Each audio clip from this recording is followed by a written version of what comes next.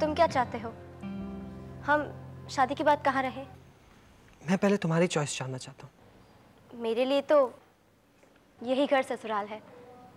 तुम्हारे पापा और रेवा आंटी के साथ हमें रहना चाहिए। नहीं तानिया। रेवा आंटी के रहते ये घर घर नहीं रहने वाला।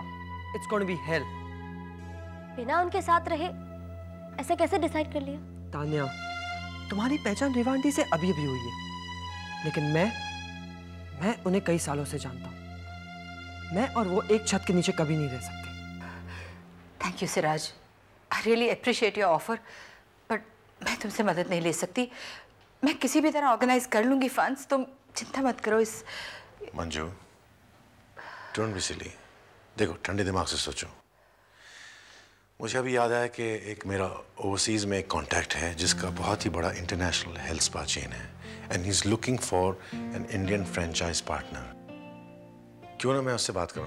तुम्हें क्या लगता है it will work out why not it can मैं तुम दोनों की मुलाकात करा देता हूँ। और अगर बात बन जाती है तो imagine an international health spa chain की सोल फ्रेंचाइजी तुम होगी। मंजू। ऐसे क्यों देख रही हो? मैंने कुछ गलत तो नहीं कह दिया। ये देख रही हूँ कि जिस सिराज को मैं जानती थी उसमें तो बिज़नेस सेंस नहीं थी। इस आर्टिस्ट के दिमाग में इस तरह की अच्छी बिज़नेस सेंस कब से आ गई? जैसे मनोविराज में है वैसी।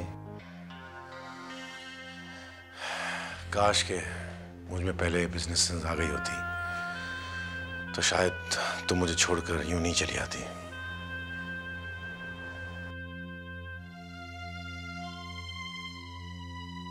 I'm sorry.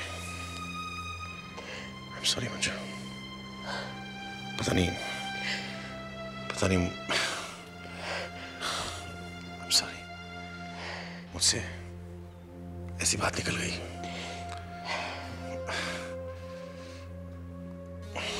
I'm very sorry. मुझे माफ़ कर दो नहीं माफ़ी तो मुझे तुमसे मांगनी चाहिए बहुत दर्द दिया मैंने तुम्हें मैं भी तुम्हें बहुत प्यार करती थी। बहुत चाहती थी तुम्हें।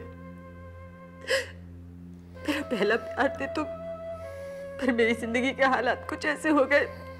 मैं नादान थी, पता नहीं ये सब कैसे हो गया।